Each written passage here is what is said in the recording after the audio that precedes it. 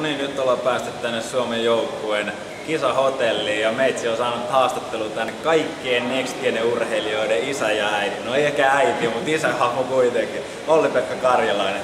Ihan tämmönen perinteinen kysymys, mikä fiilis?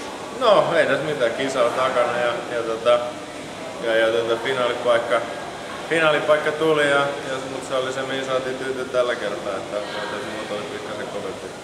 Mites tämmönen, kun etukäteen, etukäteen sulki oli varmaan tiedossa se, että ei ole kaikkea niin kuin ihan kunnossa. Miten vaikea on psyykata itseä niin kisaa siinä vaiheessa, kun tietää, että nyt ei pysty ihan kaikkea sitä, mitä tavallaan olisi, olisi annettava, ei pysty laittamaan peliin?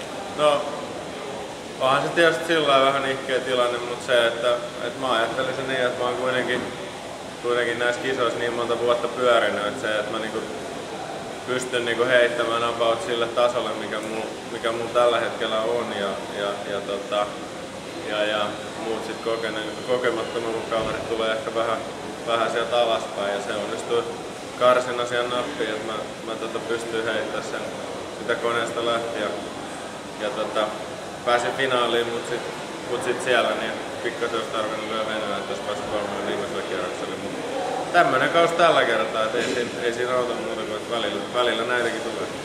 Suodattaako se pikkasen sitä pettymystä, kun tietää, että ei välttämättä ole mahdollisuuksia sinne mitalille ja sitten kun sitä ei tullut, niin onko se tavallaan vähän pienempi pettymys kuitenkin, kuin että jos olisit ollut ihan sillä fiiliksillä, että mä pystyn voittamaan, että ihan varmasti tai on se mitään.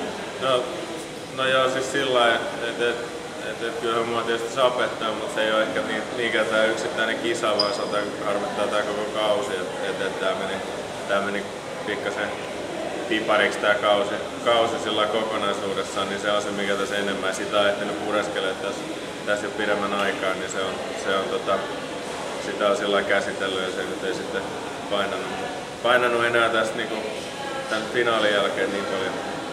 Tässä nyt kun omat kisat on takana, ja kuitenkin tuonne konkari, kehäkettu näissä arvokilpailuissa, mitä sä pystyt ehkä antaa noille nuoremmille nyt vielä, pari päivää ilmeisesti täällä vielä katsomassa kisoja? No, ei tos mitään. Jokainen hoitaa oman, oman duuninsa täällä. Näet, meillä on tossa aika, aika vähän näitä joukkojen yhteisiä tilaisuuksia. Perjantaina, perjantaina yksi ja, ja, tota, ja, ja mulla on kunnia kuuluu myöskin Suomen maajoukkojen kapteenistoon. Niin, niin ehkä me siellä joku pieni tempaus sitten vaikea Vilan kanssa järjestetään. Et, et, et, et, saappa nähdä. En ole vielä miettinyt, mutta ihan varmasti sillä että se on just niin kuin sanoit, että, että, jotakin, jotakin täytyy nuoremmille myöskin antaa. Mitä sitten sulla tässä vielä perjantai ainakin täysin aikaa katsella kisoja ja tää torstai päivä, niin mikä on semmoinen laji, mikä sua kiinnostaa, tai varsinkin suomalaisista? No kyllä tietysti, tietysti näitä näit kisoja, mitä mä ehdin, ehditään seuraan, niin varmaan miesten pituus on yksi, yksi että siinä, siinä karsinta, karsinta ehti katsoa. Ja, ja, ja tota, totta kai keihästä sitten, mutta sen, sen finaalin mä katson sitten kotisohvalta, että se on, se on tota, niin, niin, ne on varmaan ne mielenkiintoisemmat mun mielestä. Naisten moverit vielä, vielä totta kai, niin se on, se on huomenna finaali, niin se on, sen mä oon paikan päällä ehdottomasti katsonut. Heitä tähän loppuun vielä joku veikkaus, että monta mitalia tulee vai tuleeko yhtään Suomella? Kyllä mä luulen, että tulee mitali. Että, että on siinä, on siinä tota, Kinnusen Jarkko mainita vielä, niin, niin, niin hulluna päivänä kyllä on, on, on ihan täysin mahtava mitali. Mutta mä veikkaisin, että kaksi tulee. Okei, kiitos haastattelusta ja hyvät kisaturismin jatkot sitten Kiitoksia, kiitoksia.